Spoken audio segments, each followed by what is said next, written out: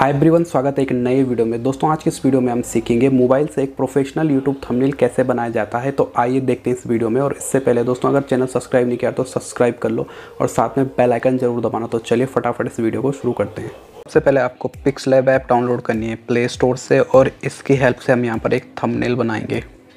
जैसे दोस्त pics lab को आप ओपन करेंगे तो यहाँ पर आपको कुछ ऐसा बैकग्राउंड दिखता है। इसके लिए यहाँ पर आपको सबसे ऊपर तीन डॉट मिल जाएँगे और यहाँ पर आपको क्लिक करना है। क्लिक करने को दोस्तों, यहाँ पर आपको चूज़ करना है इमेज साइज़ और इमेज साइज़ में यहाँ पर आपको कस्टम पे जाके इसका रेशियो फिक्स करना है और यहाँ पर आपको लेना है यूट्यूब थंबनेल मैं फ़िलहाल यहाँ से सिलेक्ट कर रहा हूँ यूट्यूब चैनल बैनर और आपको यहाँ से सिलेक्ट करना है यूट्यूब थंबनेल तो दोस्तों, इस पर क्लिक करके यहाँ पर आपका जो बैकग्राउंड है, इस न्यू टेक्स्ट को यहाँ पर आपको इसको डिलीट कर देना है। सिंपली ऊपर आपके पास डिलीट का बटन है। डिलीट करने के बाद दोस्तों, यहाँ पर आपको एक बैकग्राउंड एक्सपोर्ट करना है, जिसका लिंक मैं आपको डिस्क्रिप्शन में दे दूँगा। तो यहाँ से दोस्तों, हम करते हैं एक बैकग्राउंड एक्सपोर्ट तो चलिए मैं यहाँ पर फटाफट इसे एक्सपोर्ट कर देता हूँ। एक्सपोर्ट करने के बाद दोस्तों, यहाँ पर आपको इसको फिक्स करना है अच्छे से। लगभग जितना मैं इसे यहाँ पर फिक्स कर रहा हूँ, आपको भी ये इतना ही लेना है। और यहाँ से आपको फिर इसको लॉक कर देना है दोस्तों, जिससे ये ड्रैग एंड ड्रॉप ना हो। तो यहाँ पर मैं इसे लॉक कर देता हूँ। लॉक करने के बाद दोस्तों, यहाँ पर आपको एक और बैकग्राउंड लेना है, जिसका लिंक भी आपको डिस्क्रिप्शन में मिल जाएगा। और यहाँ से मैं सेलेक्ट करता हूँ अपना दूसरा बैकग्राउंड ये रहा, इसको मैं यहाँ से पिक करता हूँ और यहाँ पर इंपोर्ट कर देता हूँ। इंपोर्ट करने के बाद दोस्तों, इसको आपको यहाँ से ड्रैग एंड ड्रॉप करके इसका साइज़ बड़ा करना है और इसे फिक्स कर देना है। जैसे दोस्तों, मैं यहाँ पर कर रहा हूँ, आपको भी यहाँ पर ऐसे ही करना है। और इसको फिक्स करने के बाद आपको इसको यहाँ से लॉक कर देना है, जिससे कि यहाँ से मूव ना हो। तो यहाँ पर लॉक करने के लिए हम फिर से इसी ऑप्शन में जाएँगे और इसको यहाँ से लॉक कर देंगे।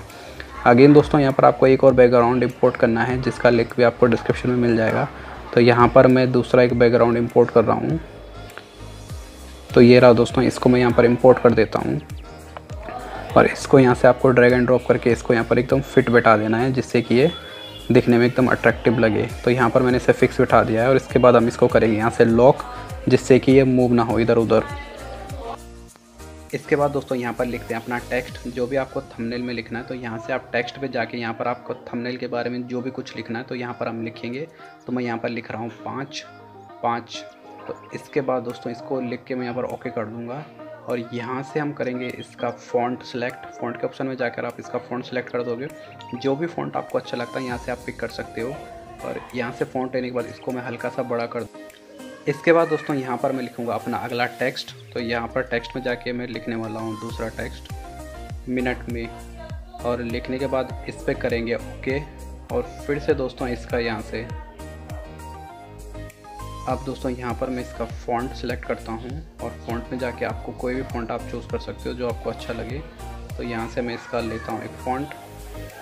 और इससे सिलेक्ट करने के बाद यहाँ से ये हो गया सिलेक्ट और इसका करेंगे यहाँ से थोड़ा सा साइज़ बड़ा और इसको मैं यहाँ पर फिट कर देता हूँ। दोस्तों, आपको भी ऐसे ही अपनी थंबनेल बनाना है, जैसे मैं कर रहा हूँ स्टेप बाय स्टेप मैं आपको यहाँ पर समझा रहा हूँ तो आपको भी यही फॉलो करना है। कलर आप कुछ भी ले सकते हो फ़ॉन्ट आप कुछ भी ले सकते हो, अपनी मन मर्ज़ी से जो आपको अच्छा लगता है, वो आप यहाँ पर पिक कर सकते हो। ज़रूरी नहीं कि आपको यही कलर लेना यही फ़ॉन्ट लेना है, जो भी आपको अच्छा लगे, वो आप यहाँ पर ले सकते हो।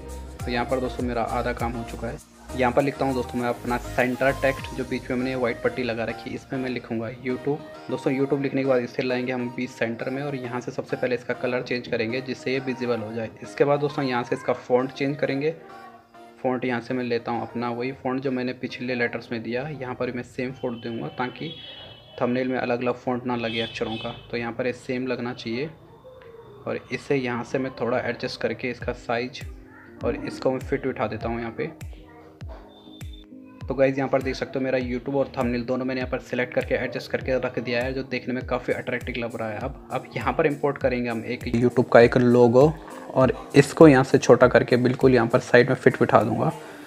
और सब, उससे पहले दोस्तों मैं यहाँ पर अपने सारे जो मैंने टेक्स्ट लिखे हैं, इनको मैं लॉक कर दूँगा ताकि जब मैं इसे फिक्स करूँ तो ये यहाँ से इधर उधर ना हो। तो चलिए इसे मैं फटाफट यहाँ पर कर देता हूँ। मेरा थंबनेल लगभग कंप्लीट हो चुका आप देख सकते हो, सारे टेक्स्ट मैंने लगा दिए। इसके बाद मैं यहाँ पर अपनी एक फ़ोटो लगाऊँगा थंबनेल में। तो चलिए आप इसके बाद यहाँ पर फ़ोटो लगाएँगे। तो फ़ोटो लगाने के लिए अगेन यहाँ पर आपको प्लस का ऑप्शन दिख रहा है। यहाँ से आपको जाना है अपनी गैलरी में और यहाँ से आपको अपनी एक फ़ोटो पिक करनी है। जो भी आपको थंबनेल में लगानी है तो चलिए मैं यहाँ से फ़ोटो सिलेक्ट करता हूँ। गाइज़ यहाँ से मैंने फ़ोटो सेलेक्ट कर लिया अपनी और इसको मैं यहाँ से थोड़ा सा फिक्स कर देता हूँ। और यहाँ पर दोस्तों आपको लगानी है अपने फ़ोटो इस वाइट बैकग्राउंड में यहाँ पर इसको अच्छे से फिक्स करना है आपको, जितना आपका रेशो तो यहाँ पर आपको इसको अपने फ़ॉन्ट और अपने जो अपने थंबनेल बनाए उसके हिसाब से यहाँ पर आपको इसको फिक्स करना है। तो चलिए मैं इसे यहाँ पर पहले फिक्स कर देता हूँ।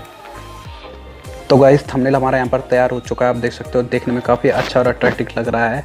और इस वीडियो में मैंने जितने भी इक्विपमेंट यूज़ किए, जितने बैकग्राउंड यूज़ किए, सबका लिंक मैं डिस्क्रिप्शन में दे दूँगा, वहाँ से उन्हें जाकर डाउनलोड कर सकते हो।